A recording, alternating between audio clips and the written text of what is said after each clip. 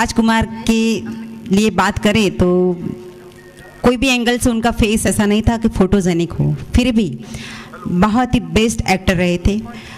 उनकी फ़िल्म से ये गाना लिया था। फ़िल्म काजल थी। नेक्स्ट गीत के लिए नीता बेन ही है। फ़िल्म है अदालत, जिसमें नरगिस जी, उन पर ये फिल्माया गया गीत है। यूँ हसरतों के दाग मोहब्बत में धो लिए। और अगर आप ये फ़िल्म देख, अरे सॉरी ये गाना ऑनलाइन देखेंगे तो देखना, नरगिस जी ने जो दर्द अपने चेहरे पे लाया है ना, वो शायद किसी और एक्ट्रेस का काम नहीं है, मैं दूसरे का इंसल्ट नहीं करना चाहती। मगर जिस दर्द से उन्होंने गाया है फेस में, और लता जी कोई भी गाना हो, जैसा उसका एहसास हो, उनकी आवाज़ में आ ही जाता है। इतना दर्दीला नगमा है। नीता जी पेश करने वाले आपके सामने। यूँ हसरतों के दाग, मोहब्बत में धो लीजिए। मैंने इंतज़ार से मोहब्बत की है। मैंने इंतज़ार से मोहब्बत की है। तुझे पाना अब ख्वाब सा लगता है। Thank you.